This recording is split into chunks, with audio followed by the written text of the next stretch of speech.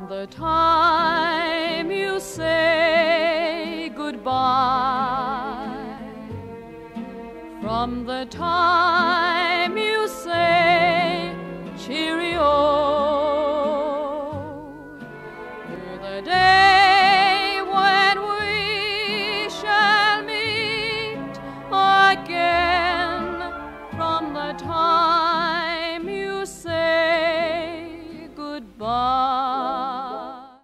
Hey hallo en welkom bij een Spiksplinter aflevering van Dwalen door Den Bosch. Ik loop hier op de Balkweg en dit is niet de eerste keer dat ik hier loop. Sowieso eh, privé als zijnde ehm voor, eh, voor Dwalen.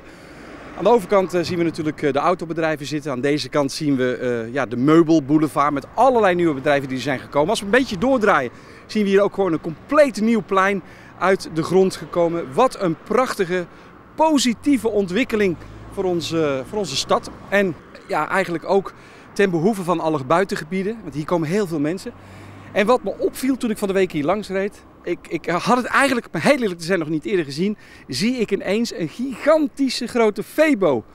En we weten natuurlijk allemaal dat in de binnenstad van Den Bosch eh, de, Febo eh, gesloten is omdat het pand ernaast aan de markt is ingestort. Het pand van Febo is nog steeds onveilig. En ik dacht, er komt toch wel een keer een Febo weer in Den Bosch terug. Pada! Maar dan geen kleintje.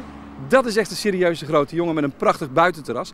Ik hoop dat er iemand is die mij eh, te woord kan staan. Zodat we eens even kunnen zien hoe de Febo hier op deze doorgaande weg gewoon een hele grote functie vervult.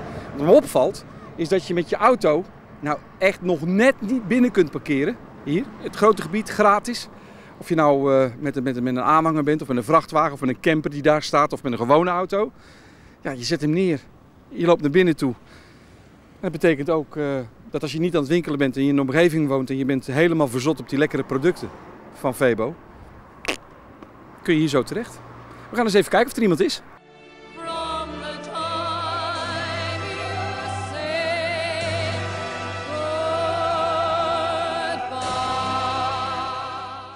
In de Kerkstraat was vanaf 1896 een postkantoor gevestigd. Tot het begin van de 19e eeuw was het postwezen een stedelijke aangelegenheid. Het stadsbestuur was verantwoordelijk voor de postbezorging in de stad en via bodes naar andere steden werd de post naar elders vervoerd. In 1968 werd het postkantoor afgebroken en vervangen door een moderne versie. Maar toch even terug naar het begin. In 1894 kocht het Rijk twee panden in de Kerkstraat aan. Die deden ze om er een nieuw postkantoor en een telegraafkantoor te vestigen. De twee woonhuizen en het erachter gelegen bedrijfspand, de oude schoenenfabriek van Van den Berg, die werden afgebroken en er verscheen een nieuw kantoor, met daarboven een ambtswoning voor de postdirecteur. Een halve ton had de nieuwbouw gekost. Om precies te zijn 50.969 gulden en 43 cent. Op 1 februari 1896 vond de opening van het postkantoor plaats. In de loop der jaren heeft het gebouw enige uitbreidingen gekend, maar het bleef grotendeels hetzelfde uiterlijk behouden. In 1938 kwam er enige ruimte door de bouw van een apart expeditiekantoor bij het station aan de Bosveldweg. Voordien moest de post regelmatig pendelen met paard en kar tussen het postkantoor en het station. En dat verminderde nu. Maar ruimtegebrek in de Kerkstraat in het postkantoor bleef eigenlijk steeds het probleem. In de jaren 60 kwam het idee naar voren om het oude gebouw in de Kerkstraat te slopen en er nieuwbouw voor in de plaats te zetten. Daartoe werden er in de Kerkstraat en de Korte Putstraat nog enkele panden aangekocht. In 1966 ging het gebouw in de Kerkstraat dicht en gedurende vijf jaar moesten de Bossenaren zich behelpen met een noodpostkantoor in het voormalige politiebureau in de Nieuwstraat. Het door een Vugs architectenbureau ontworpen nieuwe postkantoor werd op 19 januari 1971 geopend. De kosten? Een kleine 3 miljoen gulden. Bij de opening verbaasden de Bossenaren zich, aangezien het gebouw niet in de omgeving paste. Bovendien vroegen de Bossenaren zich hardop af of een dergelijk groot verkeersaantrekkelijk gebouw wel in de binnenstad thuis hoorde. Dat was een achterhaalde discussie, vond de PTT. Want tijdens het maken van de plannen was het Bosse stadsbestuur dat de nadrukkelijke wens te kennen gaf dat er nieuwbouw op dezelfde plek gerealiseerd zou moeten worden. Maar zo, verklaarde de PTT ook bij de opening, de inzichten tussen 1960 en 1971, die waren inderdaad wel veranderd. Sinds die discussie zijn we tientallen jaren verder. De ontwikkelingen met betrekking tot het gebouw van de PTT-activiteiten die zijn stil gaan staan in de Kerkstraat. Het gebouw was toen al voor de post te groot geworden. Het is herontwikkeld. Daar waar ruim 120 jaar brieven en postzegels verkocht werden, worden nu andere spullen aan de man gebracht.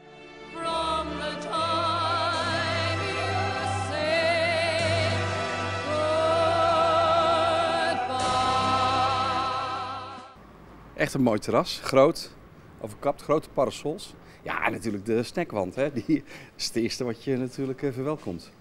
Ja, echt eens vraag. Is eh, Ferdinand ook aanwezig? Ferdinand? Ferdinand Bol? V-Bo? Dat is de straatnaam. Ja, Stel eens, nee, nee, dat weet ik. Maar is, is er, ben jij de eigenaar? Ik ben eh, compagnon, ja. Oh, wat leuk. Ja. Is er iemand die mij iets kan vertellen over Febo? Want ik reed van de week hier langs. En toen dacht ik van, hé, hey, dat vind ik leuk, ga ik hier naartoe.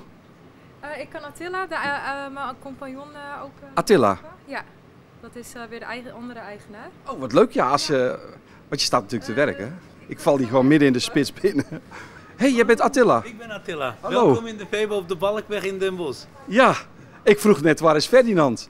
Ja, Ferdinand, dat was eerst toen in 1941 begonnen was op de Ferdinand Bolstraat. Ferdinand Bolstra. Zo is Febo toen destijds ontstaan. Ja, leuk hè. Ik, ja, sorry dat ik met een draaiende camera binnenkom, maar heb je tijd om even het een en ander te laten zien? Ja, zeker weten. Je mag binnenkomen, ik wil alles laten zien.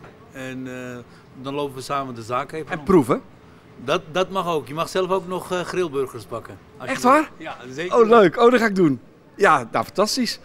Nou, ja, we gaan even kijken naar een stukje geschiedenis van de Febo. Want eh, hoe is Febo nou eigenlijk ooit ontstaan? Ga je nu zien.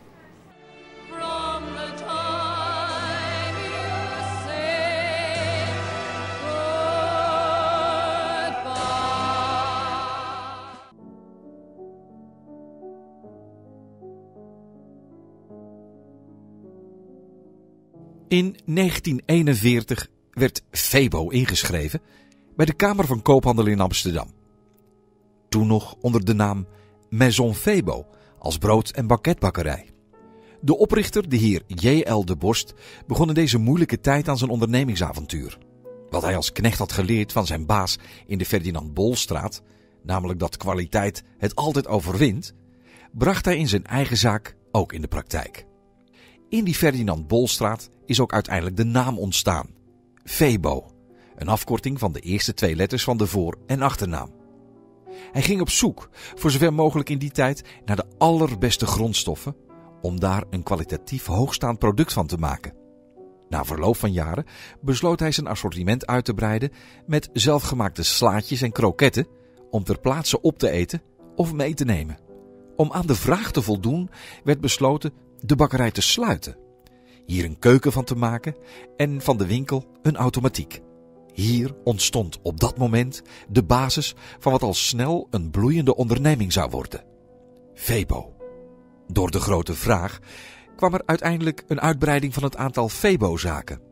Een snellere expansie was zeer goed mogelijk geweest in die tijd.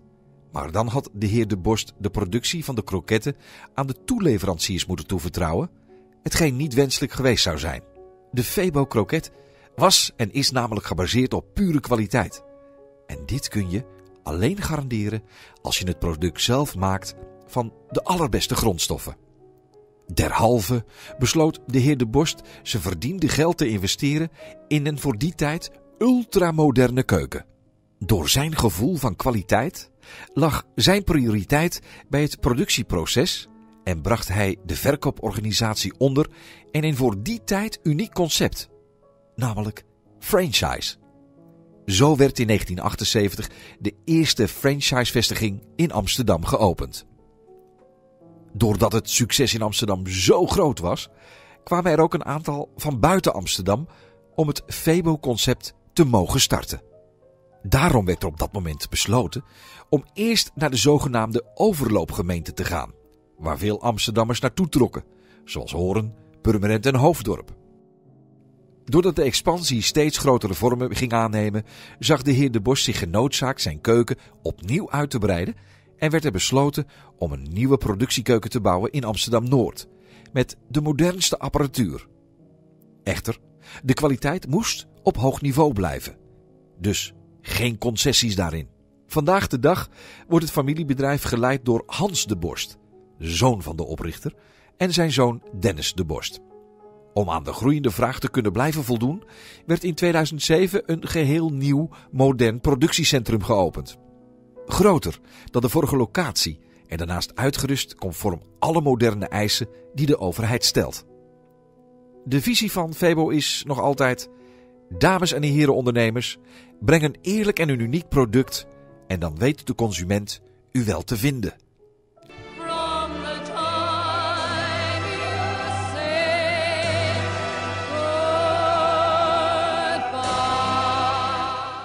Attila, je bent eh, eigenaar van een spiksplinternieuwe zaak hier eh, op, eh, de, op de Meubelboulevard. En ik heb me laten vertellen dat als je de drives, er zijn er twee van Febo in Nederland, dat als je die niet meet, dat dit de allergrootste van Nederland is. Dit is qua vierkante meter en met het tras wat we hebben is dat de grootste van Nederland.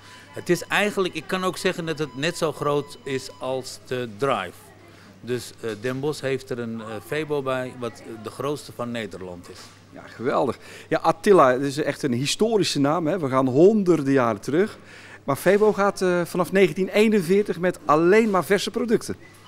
Ja, vanaf eh 41 met verse producten, maar nog steeds met verse producten. En ik wil het laten zien.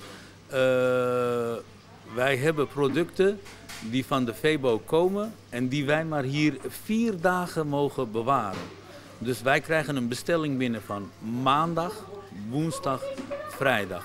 Dus eh, die dagen moet je proberen je producten vers binnen te halen. Dus dat betekent eigenlijk dat vanuit de, de keuken van eh, de landelijke Febo niets ingevroren wordt. Hier ter plekke eh, zijn geen vriezers. Alles is dag en dag en dag vers. Ja, zeker weten. We gaan ook zo meteen achterin kijken, denk ik. Gaan we ook proeven. Proeven, proeven zeker, maar ik wil kijken dat jij ook kan zien dat wij hier geen vriezer hebben, maar een hele grote koeling waar al mijn producten in zitten. Waar is het eh, vandaan gekomen omdat jij, want je komt niet eh, uit, eh, uit de regio, om toch hier te beginnen? Ik vind de Bossenaren heel aardig, laat ik daarmee eens beginnen. Ehm, en de Woonboulevard. Ik, toen ik hier ben komen kijken, dacht ik, wauw, dit is wel een heel mooie locatie in Den Bosch. Ja, maar dat is het ook, want je, je rijdt er langs. Je hebt een heel groot terras. Wat mij echt opvalt is dat er zijn luie mensen hè? In, in, overal, in de hele wereld. Maar je parkeert je auto hier bijna tegen het gebouw aan. Je hoeft geen parkeerkosten te betalen. Dat betekent of je nou met een, een auto met een aanhanger, een vrachtwagen, een busje of een kleine eh, smart. Je, je kunt hier gewoon altijd plaats hebben. Dat is het mooie, zoveel parkeersruimtes. Eh, ik zie ook laatst tijd dat de bouwvakkers heel erg blij zijn met onze parkeerplaatsen en met de Vebo. Want je kan de grootste auto kwijt die je wil op de woonboulevard. En zoals jij aangeeft, gelukkig heb ik die paaltjes, die zullen we zo meteen ook zien, heb ik voor het gebouw, anders reizen ze hem zo naar binnen. Zo lui is men eigenlijk. Ja, maar zo, en, zo dichtbij is het.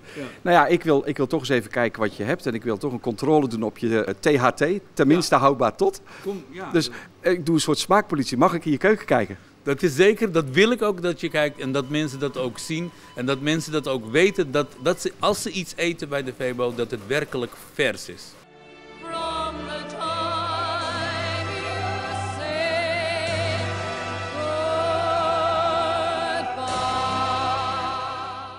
Terug naar de jaren 20. Twee Joodse ondernemers, Arthur Isaac en Leo Meijer, maken van dichtbij de grootste economische crisis van de eeuw mee. Ze zien talloze mensen die moeite hebben om rond te komen. Kunnen we niet het alledaagse leven van deze mensen wat gemakkelijker maken? vragen beide mannen zich af. En zo ontstaat hun droom. Zou het geen fantastisch idee zijn een winkel te openen, speciaal voor mensen met een kleine beurs? Een winkel met eenvoudige artikelen voor dagelijks gebruik. Laag geprijsd, maar van goede kwaliteit.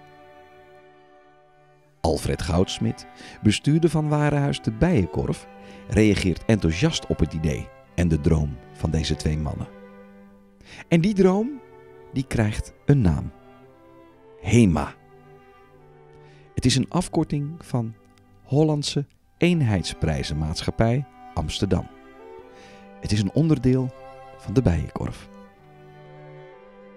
En een droom krijgt helemaal gestalte als op 4 november 1926 de allereerste HEMA in Amsterdam opent. En sinds dat jaar 1926 levert de HEMA het bewijs. Een leuk en gemakkelijk leven hoeft niet duur te zijn. Loop onze winkels maar eens binnen en je merkt het meteen, zei men toen. Schap voor schap vond je de beste artikelen voor iedere dag. Een tikkeltje eigenwijs vormgegeven, origineel, van goede kwaliteit en met een verrassend laag prijskaartje. Producten waar je blij van wordt, wat je budget ook is. De HEMA was toen bijzonder, maar toch zo gewoon. Een unieke combinatie die je in geen enkele andere winkel kon vinden. In 1930 ging de HEMA in Den Bosch van start. Ze openden het filiaal aan de Pensmarkt, daar waar ze nu nog steeds zitten. De winkelende bossenaar reageerde verrast. Parfum en chocolade, dames- en herenmode en huishoudelijke artikelen voor slechts 25 of 50 cent. Kwaliteit tegen een lage prijs. Dat was de boodschap van de Hollandse Eenheidsmaatschappij Amsterdam, de HEMA. En die boodschap slaat aan tijdens de crisis van de jaren 30. En dat niet alleen bij de armen, maar ook de rijken zijn blij met de HEMA. Maar ja, ze gaan zelf niet naar de HEMA. Zij sturen hun bedienden. Want in zo'n volkse winkel mag je als dame of heer niet gezien worden. Net als andere bedrijven moet ook de HEMA, met de van oorsprong Joodse oprichters, hun Joodse medewerkers ontslaan. Vele van deze medewerkers overleven de oorlog niet. En elk jaar op 4 mei legt de HEMA een krans bij het HEMA hoofdkantoor. Na de Tweede Wereldoorlog bloeit de economie op en mensen hebben steeds meer te besteden.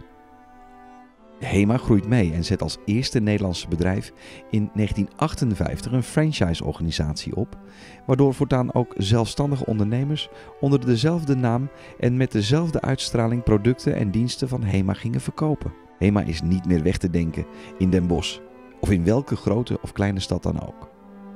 Het merk is hip voor jong en oud, man en vrouw.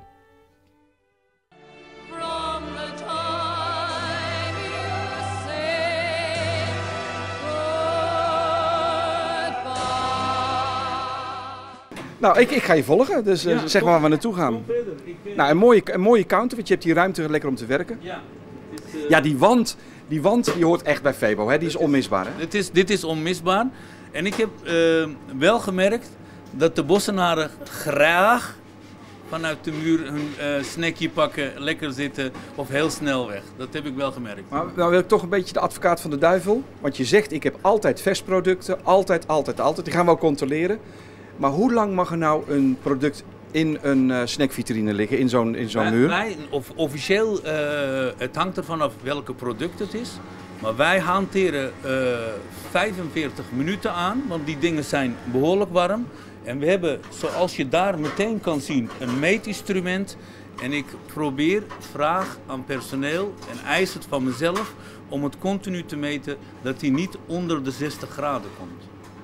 En oh, dat hij niet te slap wordt. Dat je... Dus eh, uit ervaring kan je het voelen of iets, maar ik wil dat mensen het niet voelen. Die apparaat ligt daar, zoals je Ja, nu ziet. ja. Daar meten we mee, meteen onder de 60. Dit is onze afschrijflijst, zoals je kan zien. Eigen gebruik zie ik ook staan. dus die, die halen we dan weg, we zetten meteen nieuwe erin. En zo hoort het ook. Ja, ik bedoel, men betaalt ervoor. Als het zo is, eh, dan, krijgt de klant meteen een nieuw product. Ja, een foutje kan altijd. Zo. Maar zo, als we hier zien op de lijst, misschien dat jullie even thuis kunnen kijken, dan zien we hier eh, breuk, eigen gebruik. Dus, dus inderdaad, je gooit nogal wat weg, Ja. maar dat is kwaliteitscontrole. Dat is, goed, één hè? Ja. zeker is. Ja, en eh, meteen na tien weken had ik gisteren ook toevallig eh, een controle. En ik ben met een 8,7 heel goed uitgekomen. Die controleerde ook de producten, hoe warm En is dat de, de keuringsdienst van waarde of is Nee, dat de dat controleur van de Febo? Nee, Kronenburg, onafhankelijke bedrijf, die is zo patsboom binnengekomen. En dan kan je de automaten daarna niet meer aankomen. En werkelijk, de producten waren goed. Nou, top. En we komen nu onze koeling binnen. Dus nog niet binnen, maar die ga ik dan nu open doen. Je ziet al de temperatuur, wat heel, heel goed is. Eh, 3.1? 3.1. En hier zit dus al dat verse producten. Dus ik heb geen vriezer. Ik doe nu mijn koeling Nee, inderdaad. Ik zie het niet. Ik eh, doe mijn koeling open en je kan het zien. En werkelijk alles staat dan in mijn koeling. Eh, van bami tot rundvlees eh, en alles. En ik ga u dan de datum nu laten zien. Bijvoorbeeld, we pakken nu een krat saté, Saté kroket. saté kroket. En dit is de productiedatum. Productiedatum is, we, we- het is vandaag, Vandaag de, binnengekomen. vandaag is het de zevende. De zevende. Dus Dat hij klopt. tot dinsdag verkocht zijn. Anders eh, mogen we hem niet meer verkopen. Zoals je Ja, inderdaad. En Ja, dat, en dan- dat, dat- dat geldt dan eh, voor alle producten wat nu hier staat. Dus van Bami, speciaaltje, de, de, de, de grillburgers. Maar hoe je het ook hebt staan, weet je wel. Want dit is, dit is wel allemaal helemaal super hygiënisch. Allem, allemaal van elkaar af. Geen kruisbestuiving. Nee, nee, Eh, je, je kan zeggen van oké, eh, ik heb hem tot. Want het is nu, eh, ten tijde van de opname is het vrijdag. Dat betekent dat ze maandag weer komen leveren, woensdag. Maandag komen we weer leveren. Dus dit Dus dan gaat het maandag aan de onderkant. onderkant en de rest. maar weekend is een drukke dag, dan bestellen we dan meer. In principe. Eh, maar, maar ja, eh, je probeert je aan die datums te houden. Eh, je wordt met de dag ervaren. Ik heb Ja, want in het begin zul je al veel weg hebben moeten gooien. de eerste vier weken heb ik veel weg moeten gooien. Of, of heb je het meegenomen naar huis? Nou, dat kan ik ook niet maken naar mijn vrouw en mijn kinderen toe. nee, dat kan niet. Dus dat is eh, onmogelijk. Maar dit, dit is eh, waarom het product zo lekker is en waarom het zo goed is. Dit is dus, eh, dit is echt Febo. Ja, en eh, kan heel integer zeggen dat het echt klopt wat eh, Attila zegt. Alle datums staan erop en, en je wist niet dat ik kwam. Dus Nee. je, had, je had kunnen faken, maar Nee. kom je Nee, gewoon, maar kom je gewoon binnenstormen. jou kan ik misschien nog faken. Maar als die datum over tijd is en hij staat in de koeling en ik heb controle, Dan heb je echt een dan probleem. heb ik een echte probleem. En, en op het moment als je, je, je klant of je gast het niet meer lekker vindt, heb je ook een heb probleem. ik ook een probleem. Ja, precies. Dus dat is, en dat geldt, maar friet mag, kijk, zoals ook. Hier heb ik ook eh, een, een, een datum allemaal opgezet. Ja, Kijk, die, Ja. die is vandaag binnengekomen. Ja. En dit is nog eh, voor. Dus friet mag ik een week eh, bewaren. Die moet er ook na een week uit. En dat geldt niet voor mijn milkshakes. Nee, maar dat zijn Ik langer ben- houdbaar, ik, hè? ik ben eigenlijk wel best wel eh, trots op mijn koeling. Hoe die erbij staat, hoe die er is. Met wa- wat je zegt, heel hygiënisch. Ja, Eh, super. Mijn frietsaus helemaal apart van elkaar. Eh, Ja, wat wil je dus nog meer? Men eet hier, als ze eten, eten ze echt goed. From the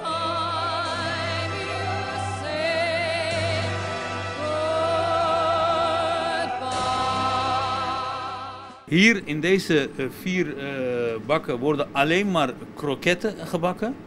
Dit is onze kip apart. Dat zijn andere kruiden, dus die mixen we niet met de kroketten. Anders gaat het eh, smaak heel anders. En we hebben daar nog eh, vier eh, of twee bakplaten met vier van die mandjes. Daar wordt alleen patat in gebakken. Oh, geweldig. alles is apart. Doe je mij leren om een grillburger te bakken? Is goed, wil moet ik dat jou wel doen? leren. Want die, die vind ik ook zo lekker altijd. En ook...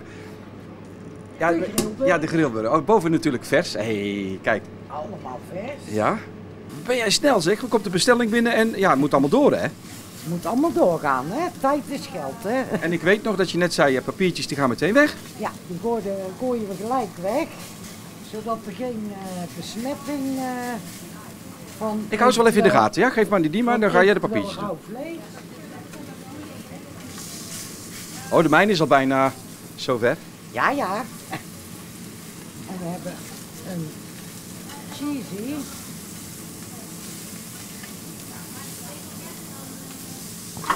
Ruikt wel lekker hè? Ik hoorde dat jij, eh, eh, eh, iedereen heeft zo'n beetje zijn eh, liefhebberij. Jij, jij bent meer van de kipburger hè? Ik ben meer van de kipburger. Attila, ik ben, ik ben nog even mijn broodje aan het bakken. Dus als ik ooit die microfoon eh, wegleg, Ja. Dan kan ik altijd daar nog meehelpen. Meehelpen, altijd. eh. Ja, maar ik ben, daar dat was het niet voor, want ik zie jou een doosje. ja? En, en dat betekent, eh, ik, ik zag ook een bestelling binnenkomen dat de mensen ook ongebakken mee, Ja, mee kunnen nemen. Dus er komt nu net een bestelling binnen. Men wil ongebakken kroketten meenemen. En dat zijn er vijf. Dus wij gaan nu eh, vijf saté doen we in zulke eh, dozen. Men kan het meenemen. Wij, zoals net eh, gesproken hebben, wij vriezen ze niet in.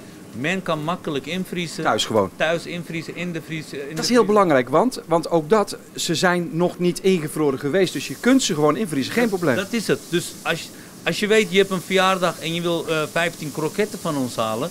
Die kan je voor de verjaardag hier ophalen, in de vriezer gooien, met je verjaardag eruit, in de frituurmand. Heb je hartstikke lekkere kroketten voor je bezoekers of eh, voor je vrienden, familie. Ik ga naar mijn broodje terug. Ja. Hij is bijna klaar. Ja. Oh, kijk eens. Oeh. Wat maak je nou? Wat is dit? Een chili cheese. Ja, dit is een chili cheeseburger. Oh, lekker toch allemaal, hè? En ik ben echt... Gaat uitjes op.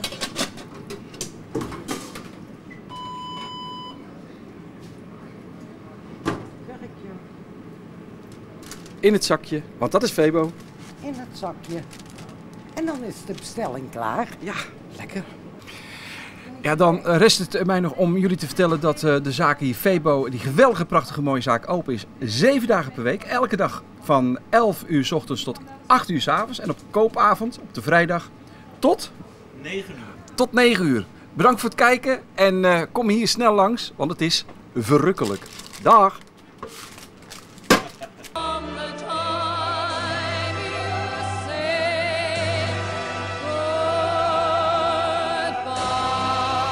Als je een klein beetje snel bent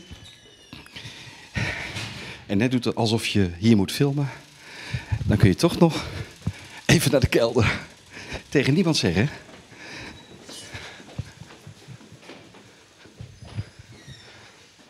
Ah, dit, is, dit is een vrij nieuwe kelder, dat is niet zo interessant, dus we lopen even door.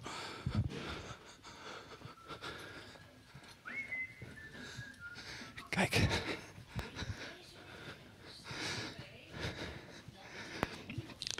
Komen nu in een heel oud gedeelte. Deze kelder. Kijk, het wordt al een heel stuk lager. De gebogen gewelven van deze kelder. Ja, het, het van oorsprong is er hier al gebouwd in het jaar 1386. Kijk uit dat je hier niet overheen valt. Het loopt eigenlijk tot aan de voorpui van de winkel. Dus het nieuwe gedeelte is ook op deze kelder gebouwd. Maar vroeger liep hij nog door. Deze HEMA die kwam in 1930 naar Zettergombos toe als zevende winkel van Nederland. En uiteindelijk is het in de oorlogsjaren behoorlijk beschadigd. En in die oorlogsjaren hebben ze de boel opnieuw opgebouwd. Later, in 1970 tot 1973, was het zo dat hierboven de boel verbouwd wordt. Helemaal gemoderniseerd. En dat jaren 70 plaatje, dat zien we nu nog steeds. Er is eigenlijk in de jaren bijna niks veranderd, behalve misschien een klein stukje herindeling. Kijk, dit wil ik even laten zien. Hier gaan we in het luik, als je dit luik kijkt, naar boven. Hier zou ik dus aan deze pui, dit is de pui, deze pui, dat is dus eh, ja, waar het hete luchtgordijn hangt. Geweldig. Later ook bijgebouwd. Want het is natuurlijk in de loop der jaren eh, een beetje aan het zakken geweest. Er loopt hier een tak van de Diezen ook langs. Nou, kortom, we zitten hier op echt een heel mooi stukje geschiedenis. Je ziet ook echt dat het vochtig is. Het bladdert ook naar beneden. De kalk. Je, het voelt ook vochtig aan, moet ik zeggen. Je zou bijna denken dat er van buitenaf een soort van draaitrap naar beneden moet komen om deze kelder als een soort museum te gaan gebruiken. En dan zit ik meteen te denken aan bijvoorbeeld een sigarenmuseum, want dat is er in Den Bosch nog niet. Of in ieder geval niet in de hoedanigheid zoals ik hem zou willen. Vanaf 1835 woonde hier de familie van de Mortel. Ik weet niet of het een voorouder is van Roderick van der Mortel, burgemeester van Vught. Maar de familie van der Mortel heeft natuurlijk altijd wel veel te betekenen gehad in onze stad, in Zettergenbos. Het pand was ooit verdeeld in twee panden. Hiernaast zit eh, Blom. En ik weet dat als je via de bovenkant, boven het restaurant van de HEMA, een deurtje doorgaat, dan kom je in het oorspronkelijke oude woonhuis uit. Nou, dat laat ik vandaag niet zien. Het is natuurlijk gewoon een woonhuis dat boven de winkel staat, maar oorspronkelijk waren het twee mooie panden. En binnenkort wordt alles verbouwd hier bij de HEMA in Zettergemorgen. Ja, dit zal altijd blijven. Geschiedenis van Den Bosch. Nou, misschien hebben hier heel veel mensen ondergedoken gezeten. Dit is een grote bunker. Uh, het is ook de bedoeling, het heeft hier ook helemaal vol gestaan, maar het is allemaal mooi opgeruimd. Straks gaat hier de deur dicht en dan is dit een stukje goed bewaard gebleven domein. Ik ga verder, want ik vond dit zo mooi. Uh, ik ga boven lekker een broodje rookworst eten. Bedankt voor het kijken naar Dwalen door Den Bosch. Blijf ons volgen. En als je iets meer weet van deze kelder, bijvoorbeeld onderduikadres of die instorting die hier heeft plaatsgevonden, stuur dan even een mailtje naar 0.tv73.tv. Tot de volgende dwalend. Houdoe. The time you say goodbye, from the time you say cheerio,